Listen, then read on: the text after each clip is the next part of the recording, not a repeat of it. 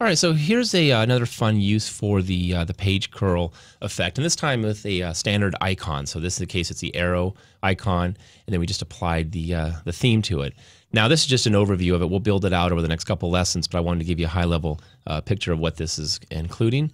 Uh, a couple things. First off, we worked with the design colors. So if you come in here, you work with any of these, you see how everything changes based on the design color theme. That's really handy, especially if you want to integrate this across different projects use the office theme for the basic. But here it is, uh, really at a, just at a high level. It's a couple, three rectangles that have a, a uh, subtle gradient to them. Uh, we combined them using PowerPoint's 2010's uh, combined shapes.